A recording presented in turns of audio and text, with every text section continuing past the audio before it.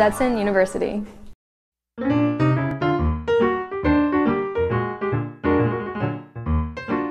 My name is Katie Peterson. I'm a biology major here at Stetson and my topic is the Arctic plant Eriophorum vaginatum, specifically how its stomatal characteristics uh, vary among locations in the Arctic.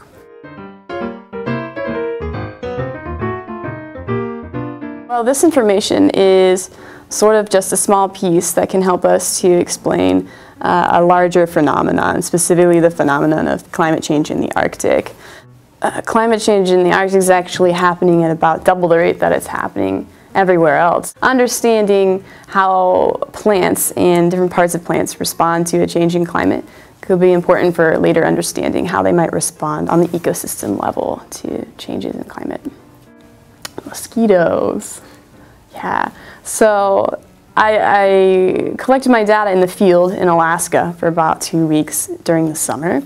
And the mosquitoes were there, and they're very large and very hairy and difficult to kill, and they're also uh, very prolific. So, um, but it was sort of fun to um, get to know how scientists can do research in the field and collect their data even when they're faced with uh, less than ideal circumstances.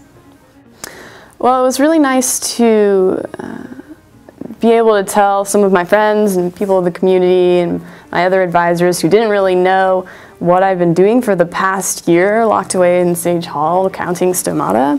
So it's sort of hard to explain in an informal setting, but SURCAS gave me that opportunity to tell everybody what exactly I've been doing and why it's been important to me. So that was, that was the best part for me. I think that this experience of presenting your work in front of your peers and having them ask you questions about it or share ideas with you is fundamental to the process of science in general and how science works and how you collect knowledge in a scientific setting. So having that experience as an undergraduate will really be invaluable to me, especially as I'm planning to go on to graduate school in the future.